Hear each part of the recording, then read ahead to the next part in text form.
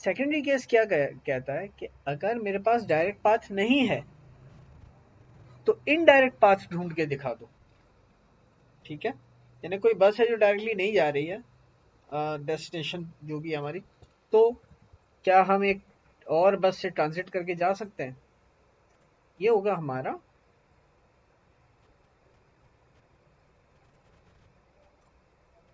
Secondary case मैं as it is copy paste करता हूँ। और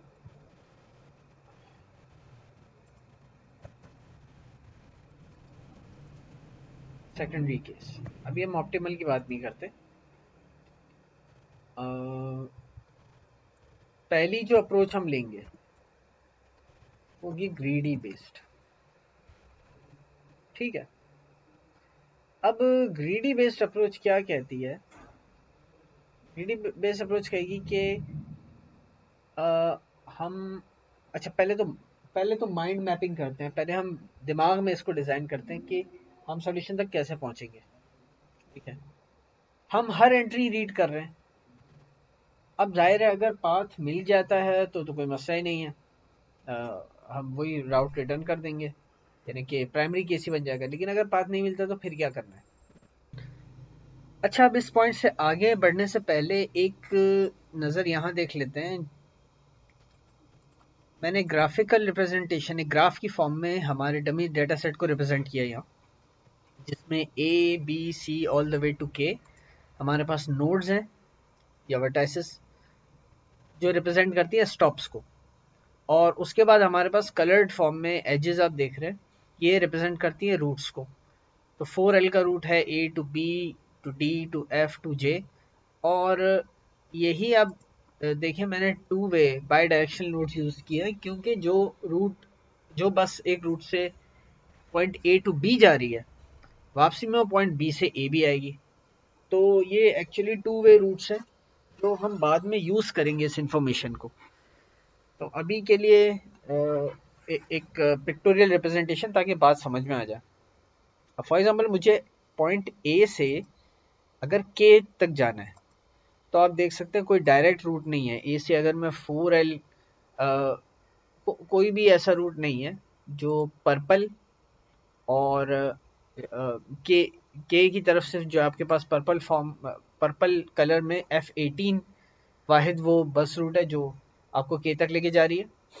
तो एफ़ एटीन के रूट पे आने के लिए ए से मुझे कोई ना कोई और पाथ लेना पड़ेगा। या या तो मैं फोर एल फोर एल में बैठ के जाऊँगा ए से लेके जे तक, और फिर के या फिर मैं कहूँगा अच्छा ठीक है let's take another route F eleven में।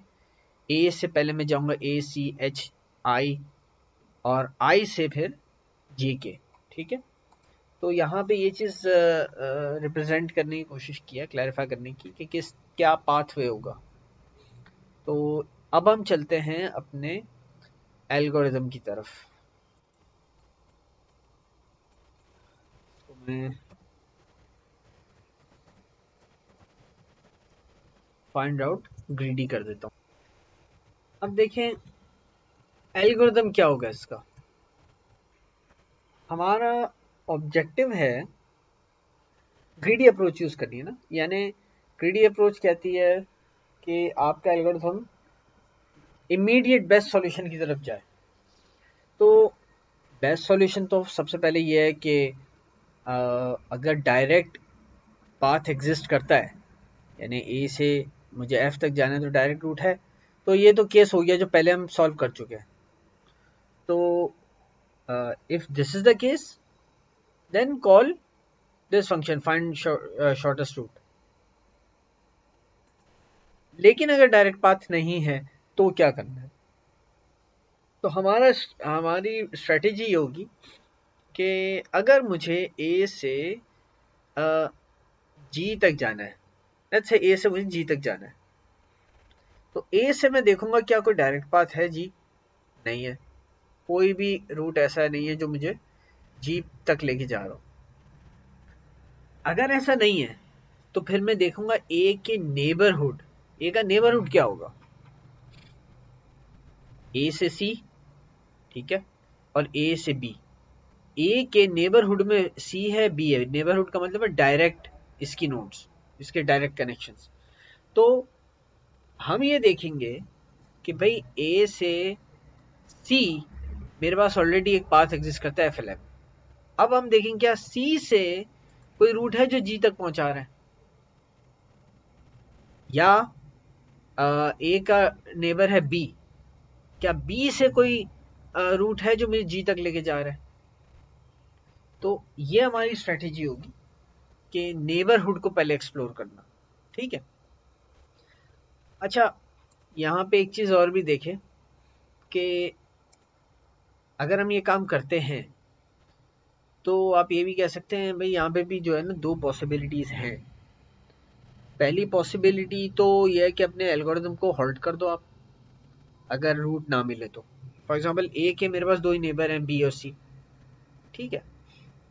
अब आप कह रहे हैं कि बी से मेरे पास बिल फ़र्ज़ कोई डायरेक्ट रूट नहीं है।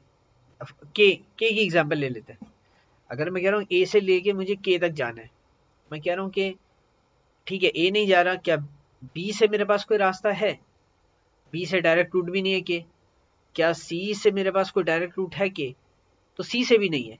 यानी ए के दोनों नेबर्स ऐसे हैं जिनसे मेरे पास कोई डायरेक्ट रूट नहीं निकल के दे रहा। के तक जाने के लिए। तो इस केस में हमारे पास फिर दो सिचुएशंस आ जाएँगी। या तो हम एल्गोरिथम को यहीं पे होल्ड कर दें बोल दें भाई नल है नो पाथ फाउंड या हम कहें कि अच्छा आ, इसको रिकर्सिव प्रॉब्लम में कन्वर्ट कर दो। क्या मतलब? रिकर्सिव प्रॉब्लम में कन्वर्ट करने से मुराद ये है कि ए से बी बी का ने बी इसका नेबर है ना? बी से के, तक डायरेक्ट पाथ नहीं है तो अब बी के भी नेबरहुड को एक्सप्लोर करो। यानी बी का नेबरहुड है डी और सी या अगर हम एग्जांपल ले लें सी से सी की ठीक है? मैं कह रहा हूँ भाई ए से सी सी इसका नेबरहुड है। अब सी के लिए यही प्रॉब्लम सॉल्व करो। सी के नेबर्स कौन कौन है? ई e और एच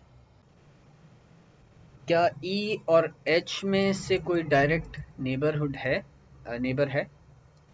जिसका डायरेक्ट पाथ अब के तक जा रहा हूँ। नहीं है, कोई बात नहीं। फर्दर हम अब एच को एक्सप्लोर कर सकते हैं। ठीक है? ई e को एक्सप्लोर कर सकते हैं, यानी नेबर के नेबर के neighbour and all the way इसी तरह हम एच को एक्सप्लोर करके आई पे लैंड करेंगे। आई से आपको मिल जाएगा डायरेक्ट पाथ तो ये अप्रोच भी हो सकती है। लेकिन हम थोड़ा सा स्टेप बाय स्टेप चलेंगे। सबसे पहले हम सॉल्व करेंगे पहला केस ग्रीडी के अंदर ही जिसमें हम कहेंगे, ठीक है हम सिर्फ़ नेबर रूट को देखेंगे कि किसी नेबर से डायरेक्ट पाथ है या नहीं। अच्छा एक अप्रोच ये है। एक ग्रीडी सॉल्यूशन ये है कि मैं ए के सारे नेबर्स देख लूँ। अब ए के नेबर्स मुझे किस तरह से मिल रहे ए का नेबर एक सी है, लेकिन वो नेबर कहाँ से? एफ़ इलेवन के रूट के ऊपर है। जो ए का नेबर बी है, वो है फोर एल के नेबरहुड में। ठीक है? ये एक अप्रोच है कि आपने पहले सारे रूट्स देखे, उनमें से किस नेबरहुड की मैं बात कर रहा हूँ? दूसरी इसमें अप्रोच क्या हो सकती है? और एक्चुअली हम दूसरे अप्रोच को ही लेके चलेंगे। और ये भी मैं अभी थोड़ी देर में क्लियर करूँगा कि क्यों। ग्रीडी ही, देखिए ग्रीडी कोई फिक्स चीज़ नहीं। ग्रीडी का मतलब है कि क्लोजेस्ट सॉल्यूशन करंट स्टेज पे जो आपके पास बेस्ट सॉल्यूशन है गो विद दैट अब ग्रीडी अप्रोच में दूसरी जगह में ये भी कर सकता हूँ कि बजाय ये बोलने के मैं सारे रूट्स एक्सप्लोर करूँ। मैं सबसे पहले पहला रूट उठाता हूँ फोर एल ठीक है? फोर एल में ए है। अब ए के मैं कहूँगा कि नेबर्स कौन कौन होंगे? सिर्फ़ फोर एल के अंदर। नेबर से मुराद ये नहीं कि सिर्फ़ बी इसका मतलब है ए से मैं किस किस नोड को अप्रोच कर सकता हूँ। नेबरहुड की मेरे ख्याल में इस्तेला सही नहीं है।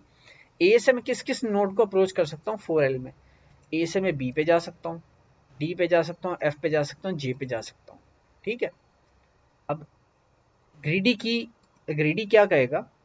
इस इस सॉल्यूशन में इस अप्रोच में क्या कहेंगे कि ठीक है हम सिर्फ़ फोर एल को उठाते हैं। ए का जो नेक्स्ट स्टेप स्टॉप है बी क्या बी से डायरेक्ट लिंक है के में? के की तरफ़। कोई इन तमाम रूट्स में सब सबको मिला के। क्या बी से के कोई जा रही है आ, कोई रूट नहीं। ठीक है? बी को आप कैंसिल कर दें ए के बाद बी के बाद कौन सा आ रहा है? डी क्या डी से कोई इन तीनों बचे हुए रूट्स में कोई नोड है जो जा रही हो के डायरेक्टली नहीं. Then you go jump where F फिर आप बोले, भाई एफ़ इसी फोर एल के ऊपर रूट है एफ़ इसी रूट के ऊपर नोड है एफ़ क्या एफ़ से कोई डायरेक्टली नोड है जो के पे जा रही है? नहीं जा रही. अकेन फोर एल के ऊपर ही मैं अब लास्ट ए के रूट पे आने वाला लास्ट स्टॉप जे इसको उठाऊँगा, पूछूँगा, भाई, क्या जे से कोई नोड है जो डायरेक्ट जे से कोई रूट है जो डायरेक्टली के पे जा रहा है? यस देर इज़ वन अब यही प्रॉब्लम मैं आप देखें और किसी के लिए भी सॉल्व कर सकता हूँ। फॉर एग्ज़ाम्पल मैं अगर बात करूँ से सी की। ठीक है। अब सी मेरे पास एफ़ इलेवन में भी है और सी मेरे पास एक्स टू पे भी है। मतलब दो रूट्स हैं जिनमें सी आ रहा है।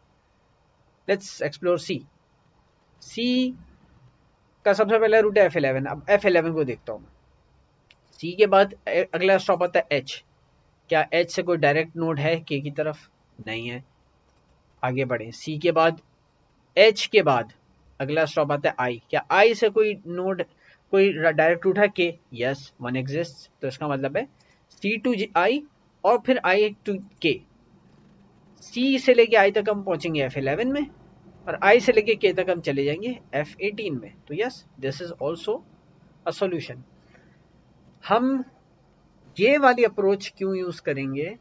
इस ग्रीडी uh, सॉल्यूशन की तरफ़ क्यों जाएँगे? बिकॉज़ ये प्रोबेबिलिटी हाई है इसमें कि आप uh, वो नहीं uh, मतलब डेड लॉक में नहीं फंसेंगे। डेड लॉक से मुराद ये कि ऐसी सिचुएशन कम आएगी कि आपके पास सॉल्यूशन फाउंड ना हो। देखिए ए अगर आप ए को देखें सिर्फ़ तो ए के तो ठीक है दो नेबर्स हैं लेकिन ऐसा भी तो हो सकता है कि कोई एक ही नेबर होता है ये नोट ना होती है हमारे पास। ये भी पॉसिबल था। तो इसका मतलब फिर तो नेबरहुड अगर मैं देखूँ सिर्फ़ बी बचेगा। तो अगर सिर्फ़ बी रह गया तो फिर मुझे रिकर्सिवली सॉल्व करनी ही करनी है फिर प्रॉब्लम फिर बी को मैं बना दूँगा अपना स्टार्ट और डेस्टिनेशन वही के रहेगी. रिकर्सिवली मैं सॉल्व कर सकता हूँ. लेकिन वो एक एक तो कॉम्प्लेक्स होगा प्रॉब्लम और दूसरा अर्ली स्टेज में सॉल्यूशन हम फाइंड कर लें, इसकी प्रोबेबिलिटी कम हो जाएगी. ठीक है तो ये कुछ चीज़ें बतानी थी. Before I jump into writing the algorithm and pseudo code अब देखें, इसका हम एल्गोरिथम क्या लिखेंगे? क्या, हम कहना क्या चाह रहे हैं यहाँ पे? We start reading every entry in the map ये तो ठीक है।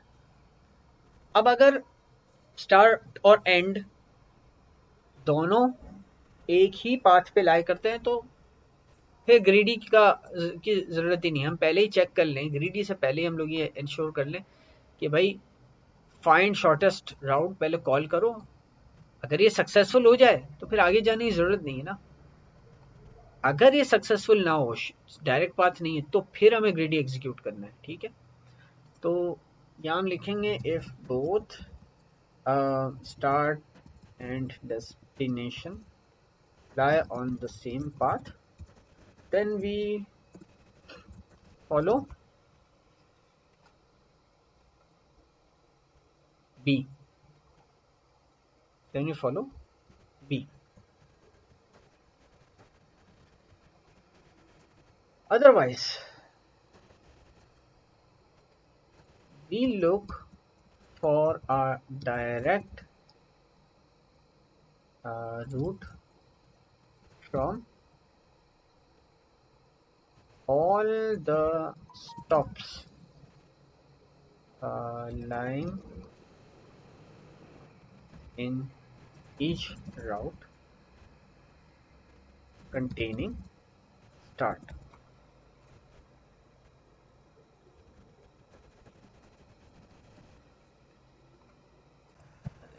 confusing would or naming otherwise uh, scan for all stops each route containing start.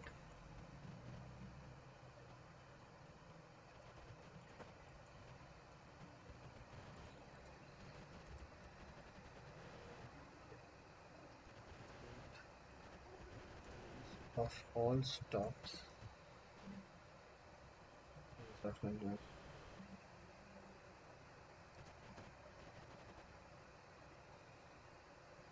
As कोई नाम देते हैं हम लोग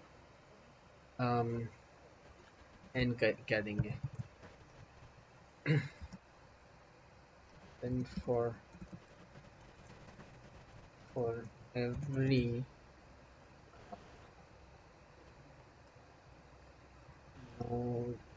every stop in an other than start find a direct in M if uh, अब यहाँ से दे तो there are two possible possibilities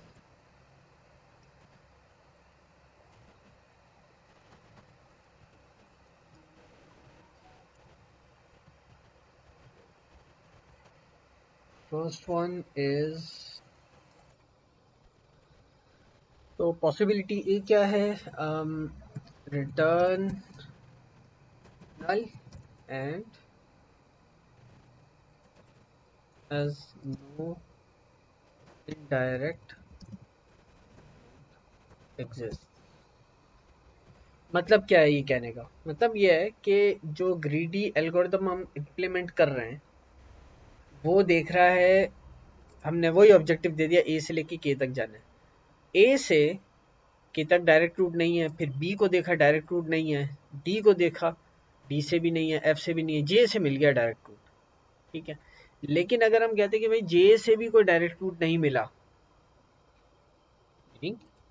four L के पूरे पाथ में कोई भी ऐसी नोड नहीं थी बी डी एफ़ और जे जिसका डायरेक्ट रूट मिल जाता है के के साथ। ये नहीं है तो फिर नेक्स्ट क्या होगा? फिर देखेंगे दूसरा कौन सा रूट है? एक्स टू है सॉरी एफ़ इलेवन है जिसमें ए आ रहा है। ठीक है? अब ये रूट हो गया फोर एल सेकेंड रूट पे है जिसमें ए है तो ए के का डायरेक्ट नहीं है के के साथ। अब सी को देखते हैं, क्या सी का कोई डायरेक्ट रूट है? No no. क्या एच का कोई डायरेक्ट रूट है? नो क्या आई का कोई डायरेक्ट रूट है? हाँ है। लेकिन अगर हम कहते हैं, भाई, आई का भी डायरेक्ट रूट नहीं है फॉर एग्ज़ाम्पल ये होता। आई या जे, ये होते ही नहीं दोनों नोट्स ठीक है? तो आई का भी कोई डायरेक्ट रूट नहीं होता। तो हम कहते हैं, भाई, ए का पहला रूट भी खत्म हो गया। दूसरा पहला रूट भी हमने एक्सप्लेर एक्सप्लोर कर दिया। दूसरा रूट भी एक्सप्लोर कर दिया। दोनों में कोई भी नोट ऐसी नहीं थी जो हमें डायरेक्ट के तक पहुँचा सके। तो उस सूरत में हम नल रिटर्न कर रहे हैं। ठीक है? लेकिन इसका दूसरा वेरी, इसका दूसरा दूसरा वेरिएंट क्या हो सकता है कि हम इस प्रॉब्लम को रिकर्सिव प्रॉब्लम में तब्दील कर दें। यानी take the problem to second level क्या मतलब? That is if start is for example a and its neighbor is b then collect all routes in which b lies and then repeat the same process for considering B as start हाँ B as start. ठीक है? तो finally हम return इस सूरत में क्या करेंगे? uh, दो पार्ट्स में रिटर्न हो सकते हैं। लेकिन एट दिस स्टेज हम लोग चूँकि स्टेप बाय स्टेप आगे जा रहे हैं अभी इस स्टेज पे हम आ, इसकी बात नहीं करेंगे। इस सेकंड वेरिएंट की बात इस स्टेज पे नहीं करेंगे। बाद में जाके हम इसको रिकर्ज रिकर्सिव प्रॉब्लम देखेंगे। अभी तो हम बात करेंगे भाई यहाँ जो एल्गोरिदम है हमारा। स्टार्ट कर दो इसको। इसको रीराइट करना है। सीडो कोड तो सीडो कोड में आई तो बिल्कुल आइटेशन के लिए सही है। लेकिन सबसे पहले हमें क्या, हमने क्या कहा? हम पहले देखेंगे भाई डायरेक्ट रूट है भी या नहीं। यानी कि बी का केस तो नहीं आ रहा कहीं। तो अगर वो है तो पहले चेक कर लेते हैं। तो फ़र्स्ट ऑफ़ ऑल कहेंगे इफ़ आर ले लेते हैं for example R is equals to sorry set R is equals to what find shortest shortest route है शॉर्टेस्ट पाथ है शॉर्टेस्ट रूट और यही पैरामीटर्स पास कर दिया एम एस और डी हाँ अगर ये फेल हो जाता है इफ़ आर इज़ नल या हम बोलेंगे if R is not null तो रिटर्न कर देंगे हम सीधा सीधा आर नो वरीज अदरवाइज़ यहाँ से ग्रीडी स्टार्ट होता है हमारा। हम एक एन कलेक्शन ले रहे हैं ना इसके अंदर सारे आ, सारे वो रूट्स जिनके अंदर स्टार्ट आ रहा है, जिनके अंदर एस आ रहा है। तो पहले हम एन इनिशियलाइज करा देंगे।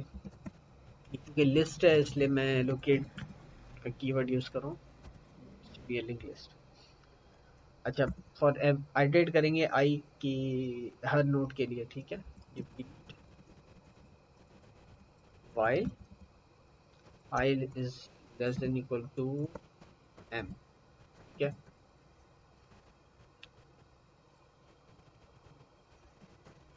क्या रिपीट करना है? आ, हमें वही चाहिए इंडेक्स पहले तो एस है भी या नहीं? भाई अगर एस मौजूद है तो आ,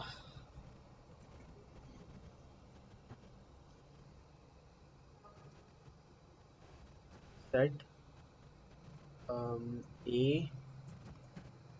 is equals to M F I का रूट ठीक है?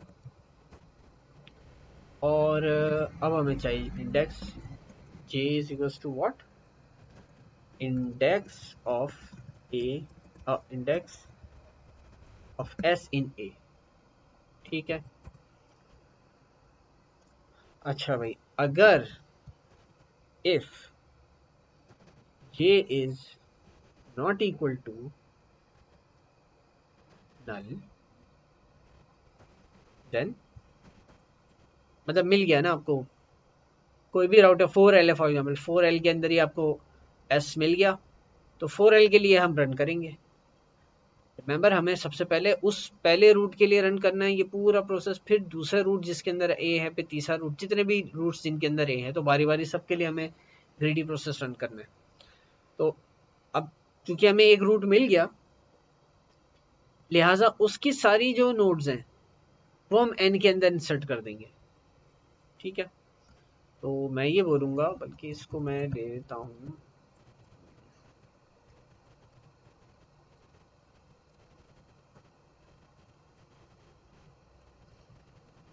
Then do what?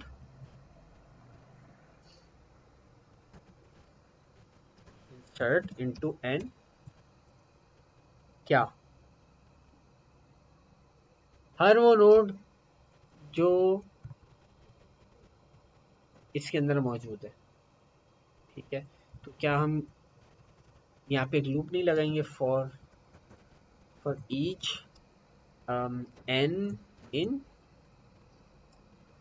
कहाँ से स्टार्ट करेंगे हम लोग? भाई, जहाँ स्टार्ट मिला है ना स्टार्ट की नोट जहाँ पे है अभी तो हमने कह दिया? ए लेकिन अगर मेरे यूज़र ने स्टार्ट दिया ई e, तो ई e के बाद की नोट्स हमें नोट करनी है। इससे पहले वाली इनका काम नहीं हमें ठीक है? ई e के बाद एफ़ जी और एच का ही। तो हम पूरी जो है ज़ीरो इंडेक्स से नहीं चलेंगे हम कहेंगे यहाँ पे कि index J plus one to जो भी इसका साइज़ है ए का जो भी मैग्नीट्यूड है वहाँ तक। ठीक है? अब माइनस वन करना है तो उसको माइनस वन कर हैं but you get the idea तो जे प्लस वन इंडेक्स से लेके आखिर तक, जितनी भी नोट्स हैं वो अब हमें इंसर्ट कर देनी एन के अंदर. तो insert to N this N ठीक है? अब यहाँ तक हमारे पास सारी नोड्स आ गई. कौन सी नोड्स आ गई? जो ए जो स्टार्ट के बाद आने वाली है. स्टार्ट जहाँ मिली नोड उसके बाद आने वाली अब इनके साथ करना क्या है?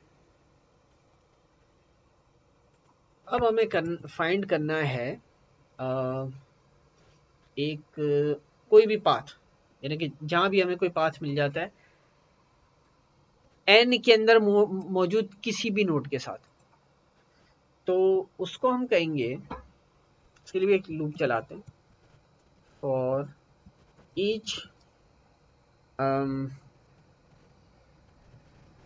N in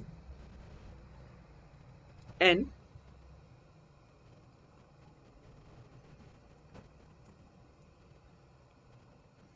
हमें फाइंड करना है ना। सेट इसको टी कह देते हैं। Set T is equals to वही फाइंड शॉर्टेस्ट रॉ लेकिन फाइंड शॉर्टेस्ट रूट कहाँ से कहाँ तक? एन से लेके डेस्टिनेशन तक। बिकॉज़ रिमेंबर एन क्या है? अगर फॉर एग्ज़ाम्पल मेरा मेरा इनपुट था सी ठीक है? तो मुझे ये पता है कि भाई सी से मेरे पास ई एफ़ जी और एच ये चार नोट्स आ रही हैं, ठीक है? अब, अगर मैं कहूँ सी से या या इसको ले लेते हैं एफ़ इलेवन के रूट को लेते हैं। सी टू एच आई और जे ये तीन है ना मेरे पास?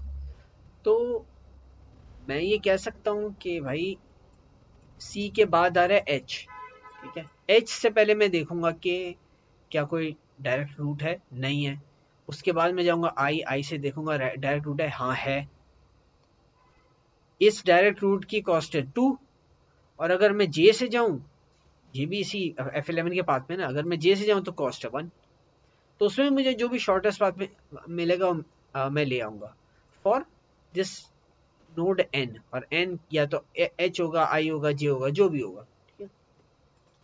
अब किसी भी पॉइंट पे मुझे अगर टी मिल जाता है अगर मेरे पास एक पाथ रिटर्न हो रहा है तो दैट्स इट हो गया मेरा यहाँ पे ही काम हो गया.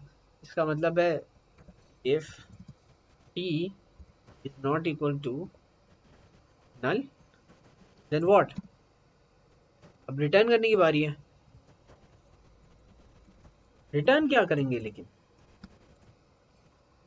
रिटर्न व्हाट तो यहाँ एक चीज़ समझने की ज़रूरत है कि इसको तो कर दो फाइव डल के रिटर्न सिंगल एक एक बस नहीं पकड़ी आपने।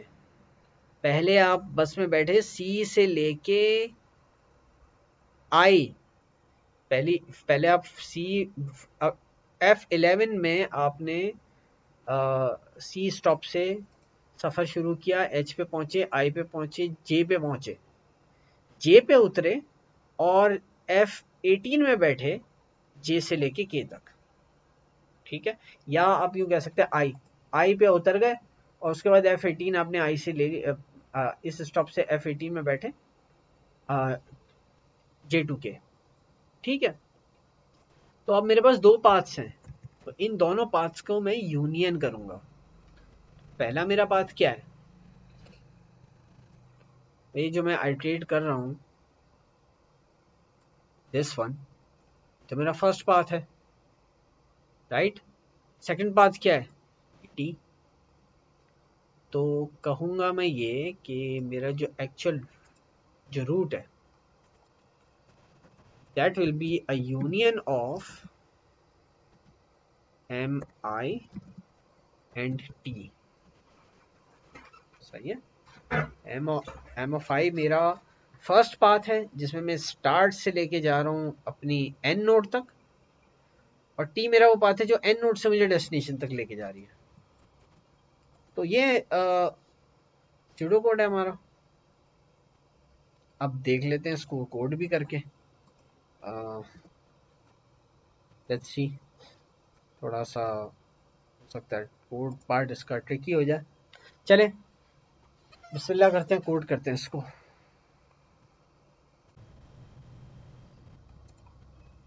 आ जाता हूँ दोबारा अपने पे। स्टैटिक ये चीज़ें तो सेम रहेंगी ना? चीज़ें सेम रहेंगी। फ़िलहाल एम्प्टी लिस्ट रिटर्न कर देते हैं। उसको हम कहेंगे फाइंड आउट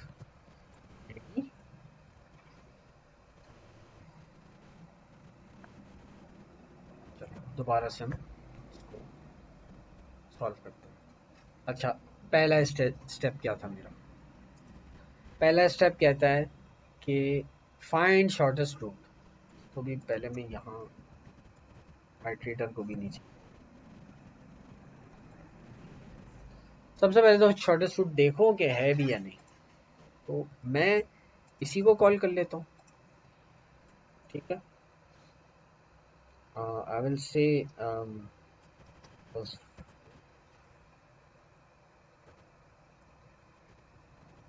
list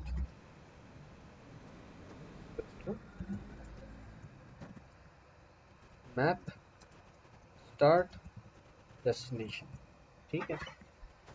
तो अगर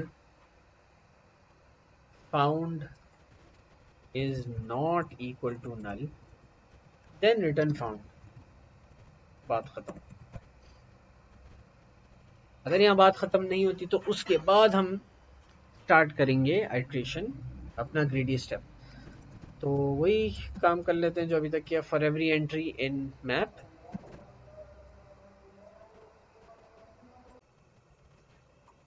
देखते हैं दोबारा अपने एल्गोरिदम की तरफ़ कि इसके बाद क्या करना है। स्टेट एन इज़ एलोकेट और उसका राउट लेना है और एस फाइंड करना है। ए के अंदर, जो कि ओके ठीक है, ये स्टेप भी सेम ही है। बेसिकली एक काम है कि हम एक लिस्ट इसको हम बोलेंगे क्या?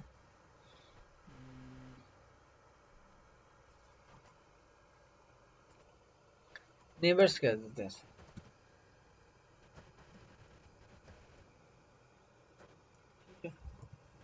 अच्छा एक चीज़, ये स्ट्रिंग होगा। ऑफ़ स्ट्रिंग मैं सिर्फ़ इससे गर्ज है कि नेबर्स कौन कौन है, ठीक है? अच्छा इसके बाद हमें क्या करना था? ये एरे व्हाट एरे एंट्री का जो, जिसको हम कह रहे हैं डॉट रूट ये कह रहे हैं ना? इसमें हमें सर्च करना है, किसे? स्टार्ट को यानी यही स्टेप ठीक है। सर्च कर दिया अब अगर ये आ, नल नहीं है यानी अगर मैं कह रहा हूँ if J is greater than equal to zero then do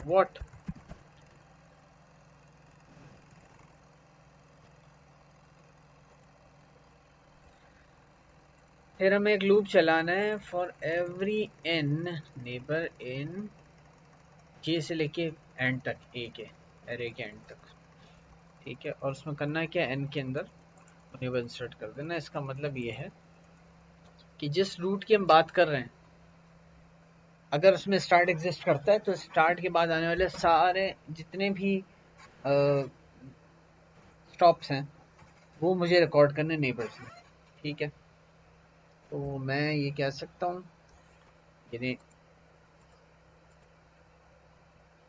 इसको मैं रिड्यूस कर सकता हूँ एक ही सेंटेंस में सी शार्प यूज़ करते हुए। लेकिन यहाँ भी तो हमने ये काम किया था। बिल्कुल यही काम हमें यहाँ भी करना है। ये जो हम बात करें नेबर्स की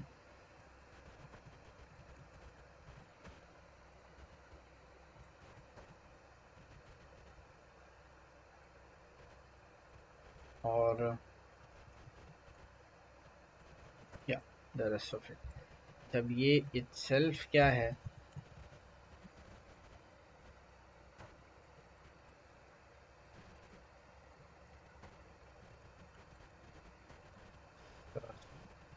इनिशियलाइज कर देते हैं हम लोग। और मुझे इसमें और कुछ नीड है या नहीं? तो मुझे नेबर्स कलेक्ट करने और दैट्स इट उसके बाद मैं आइट्रेट करूँगा इन सारे नेबर्स को। ओके hmm, जब अगर आइट्रेट इसके लूप के अंदर ही करना है तो पर इनिशियलाइज करने की भी आई थिंक ज़रूरत नहीं है इसको। थोड़ा सा हम और कॉम्पैक्ट कर सकते हैं कि हम ये कह सकते हैं।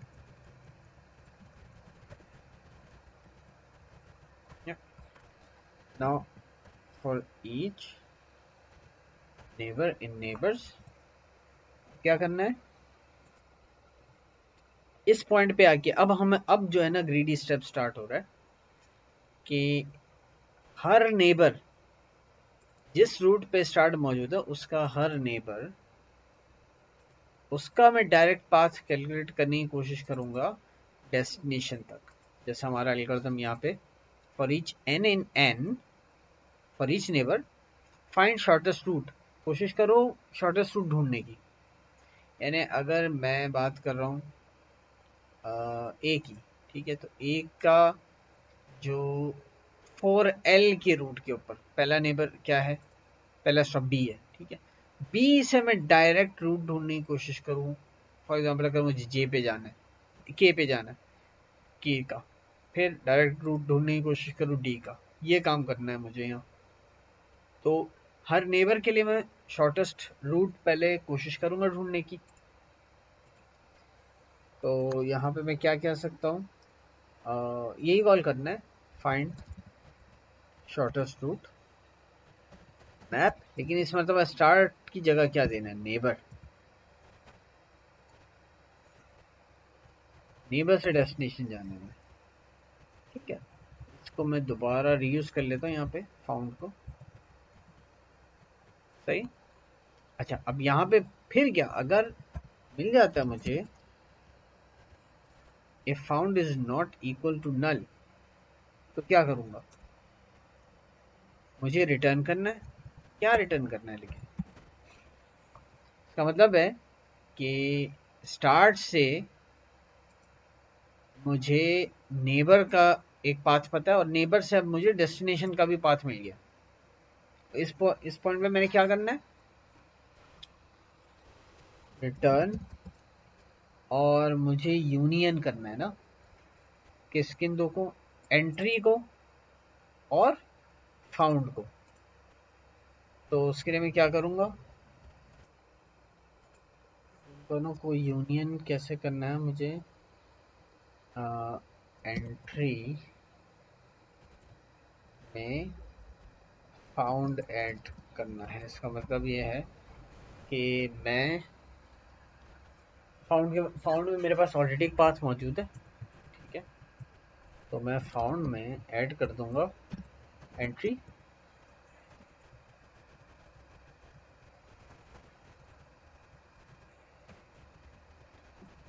तो फाउंड तो रिटर्न करवाना है, लेकिन एक्चुअली मुझे फाउंड रिवर्स रिटर्न कुछ नहीं कर रहा क्या? अच्छा रिवर्स वैसे ही कॉल होगा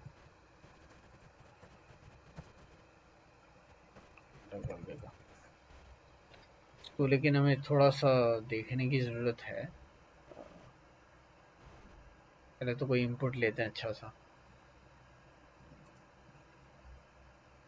ये ले लेते हैं ए टू के हमें पता है ऑब्वियसली ए टू के कोई डायरेक्ट पाथ एग्जिस्ट करता ही नहीं है।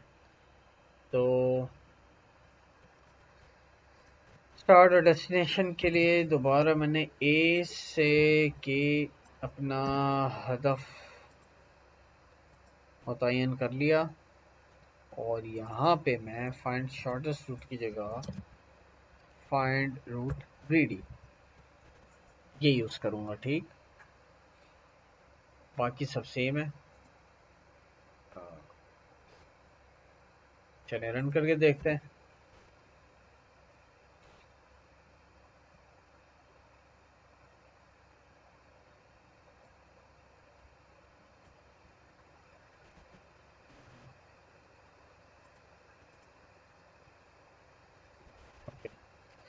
सी क्या हुआ है।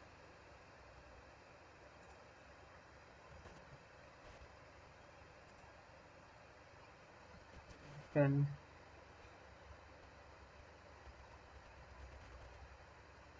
में एक्स टू के रूट पे स्टार्ट है ही नहीं।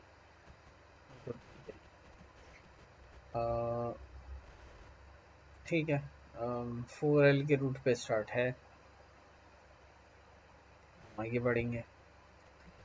नेबर्स नेबर्स में क्या क्या आ रहा है? नेबर्स हमारा ए बी डी एफ़ नहीं आ, मुझे A plus one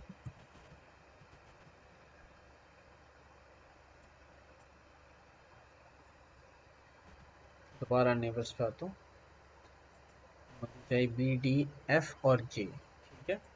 J plus one skip करके सारे मुझे चाहिए। देन फाउंड फाउंड नहीं होना चाहिए, ठीक है? दोबारा मैंने देखा फाउंड नहीं होना चाहिए। कि मेरे पास अब जैसे एफ़ है तो एफ़ से क्या कोई रूट डायरेक्टली एफ़ जा रहा है की की तरफ़ नहीं जा रहा ना? ये भी नल होगा।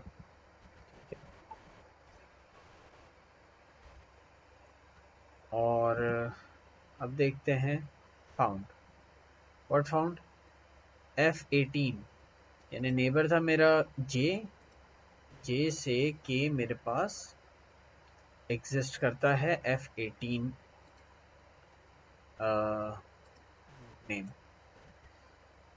let's go ahead यहाँ पे आ गए हम फाउंड आपने देख लिया। पहला, पहली जो इसमें एंट्री है, वो कह रहा है जे से के जाना है और दूसरी एंट्री है ए से लेके जे तक जाना है। हमें इस वजह से इसको रिवर्स करना है, ठीक है? अब जब हमने रिवर्स किया तो पहले हमने कहा ए से जे और फिर जे से के ये जब हमने रिटर्न करवाया यहाँ पे सॉल्यूशन में तो ये मैंने क्यों लिख दिया है? मुझे यहाँ पे एक लूप लगाना है for each in solution. This. इस वजह से वो प्रिंटिंग नहीं करा रहा था I think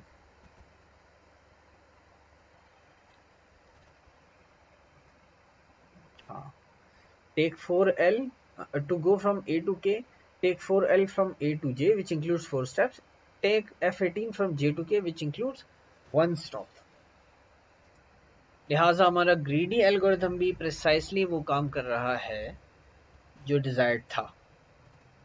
तो दिस इज़ वर्किंग अब एक आध एग्जांपल और देख लेते हैं। अगर हम बात करते हैं बी से डायरेक्ट पाथ अगर मैं कहूँ B to C E F G ये सब है ई e को देख लेते हैं।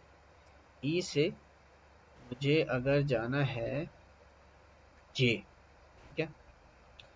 तो और आप देखें ई e से F and then F to J और जी से कोई पाथ नहीं है एच एच से जे ठीक है?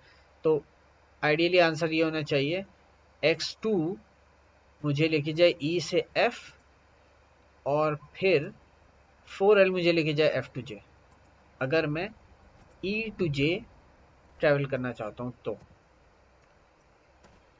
ई जे एच रन इसको हम हटा देते हैं। ठीक है X two from B to H B to H तो बी टू एच कहाँ से आ गया? एफ़ टू जे तो सही है।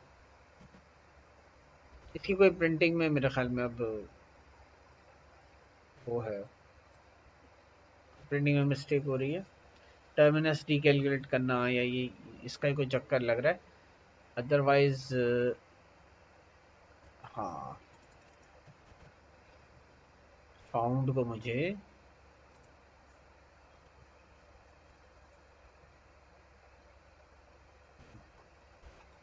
दोबारा एंट्री है। इसको मुझे री री कंप्यूट करना होगा ना, क्योंकि इसमें एंट्री में तो सारे ही बता रहा है बी टू जे तो यार छोटा सा बग है, इसको रिजॉल्व कर लेते हैं। कहेंगे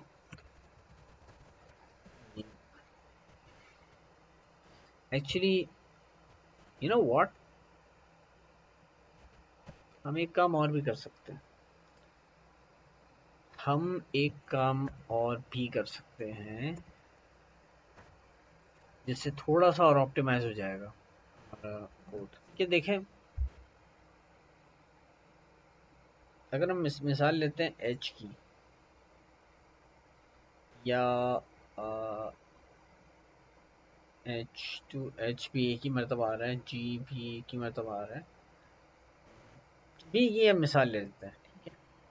देखिए बी से अगर मैं कहूँ एफ़ तक जाना है, ठीक है? बी टू मुझे एफ़ जाना है और फिर एफ़ टू जे जाना है। तो B से लेके अगर मैं यहाँ पहले x2 को देखूँगा तो B से F पहले मेरा एल्गोरिथम कहेगा, पहले B x2 पकड़ो, B से C, फिर E और फिर F पे जाओ। और फिर फोर एल में बैठ के एफ़ टू जे एफ़ चले जाओ। लेट्स से कि यहाँ पे अगर बी ना होता अज्यूमिंग ये बी ना होता, इसका मतलब डायरेक्ट रूट डी ना होता तो फिर उस उस सूरत में क्या होता? हो सकता है कि भाई एक और भी रूट होता जो बी से एफ़ तक इन द फ़र्स्ट प्लेस में जो फास्ट पहुँचा देता। यानी यहाँ पे बी से एफ़ तक जाने के लिए मुझे एक, दो, तीन स्टेप्स करने पड़े ना, हो सकता है कोई और रूट ऐसा हो जो बी से एफ़ तक मुझे फास्ट पहुँचा दे, फिर एफ़ से लेके जे तक मुझे फास्ट पहुँचा दे। तो इस काम को करने के लिए मैं यही दूसरी मरतबा भी तो कॉल कर सकता हूँ।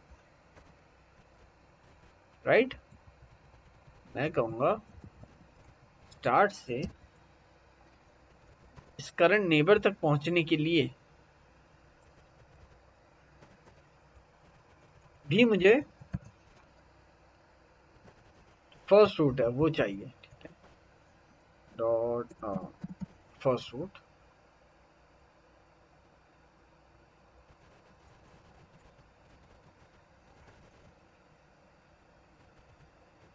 in fact ये